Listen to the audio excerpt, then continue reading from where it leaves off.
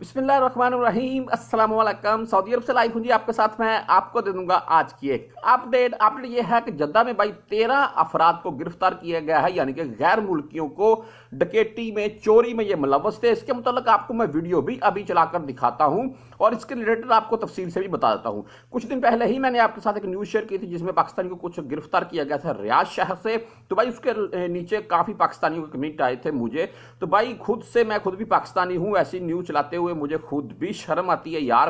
لیکن سعودی عربیہ سے متعلق ایسی نیوز جو کہ بریکنگ نیوز ہو، آپ بھائیوں تک پہنچانی بھی ضروری ہوتی ہیں، کیونکہ ایسی نیوز کو دیکھ کر بہت سے میرے بھائی سبق حاصل کرتے ہیں اور کوئی نہ کوئی ایسا بندہ جس کے ذہن میں کوئی نہ کوئی کسی قسم کی خام خیالی پل رہی ہو یا کوئی بندہ اسے لالچ دے رکھا ہو، تو وہ ایسی نیوز دیکھے اور اس کام سے باز ہی رہے۔ کیونکہ یہ بھائی پاکستان نہیں ہے، یہ سعودی عربیہ ہے۔ کیونکہ یہ نیوز آپ کے سامنے میں ابھی چلا کر آپ کو دکھاتا ہوں، اس کی تفصیل بھی بتا دیتا ہوں۔ آپ دیکھ لیں کہ یہ پھر بھی پکڑے گئے ہیں۔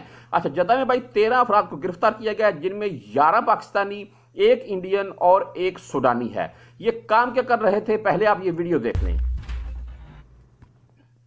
أسفرت المتابعة الأمنية لقضايا الاعتداء على الأموال عن تمكن الأجهزة الأمنية بشرطة منطقة مكة المكرمة من القبض على 13 وافدا منهم. 11 وافدا من الجنسية الباكستانية ووافدين من الجنسيتين یہ تو ویڈیو آپ نے دیکھ رہی ہے باقی ویڈیو آپ کو سائٹ پر میں چلا کر دکھا بھی رہا ہوں۔ یہ بندے بھائی چوری ڈکیٹی کر رہے تھے یعنی کہ یہ آپ بول رہے ہیں ساتھ میں وہ ڈینے وغیرہ لے کر آئے ہیں اور ایک سرکاری بلڈنگ بن رہی تھی وہاں پر جو گارڈ وغیرہ موجود تھے انہوں کو ان لوگوں نے باندھ دیا ہے ان کے آنکھوں کے اوپر ماؤتھ کے اوپر بھائی پٹی وغیرہ باندھ دیا ہے۔ اس کے بعد وہاں سے کیبل اٹھائی ہے جی انہوں نے۔ کیبل اٹھائی ہے، لوڈ کی ہے اور جہاں وہاں سے نکلنے لگے ہیں یا نکل گئے ہیں تو رستے میں کہیں پکڑے گئے ہیں۔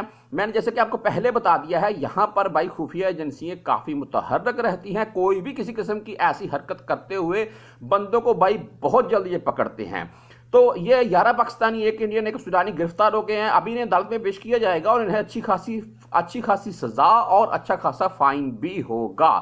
لیکن بات جو میں کروں گا، وہ یہ کروں گا کہ آپ اس چیز سے اندازہ لگا لیجیے کہ یہ لوگ جو کیبل اٹھا رکھے تھے، وہاں سے وہ اٹھارہ لاکھ ریال کی کیبل بتائی جا رکھی ہے جو ان لوگوں نے وہاں سے اٹھا لی تھی۔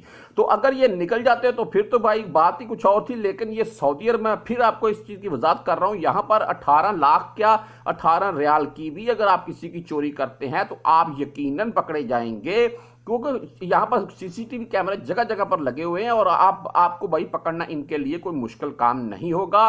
تمام تر خارجی بھائی یہاں پر جو سوری، موجود ہیں، وہ اس چیز کا خاص خیال رکھیں کہ کوئی بھی کسی قسم کی چوری ڈکیٹی کی واردات میں کسی بندے کے ساتھ شریک مت ہوں اور کوئی اگر آپ کو لالچ بھی دے رکھا ہے تو اس کو بھائی اس کے سامنے ہاتھ جوڑ اس کے بولے جا اللہ کا نام لے، کوئی اور بندہ ڈھونڈ۔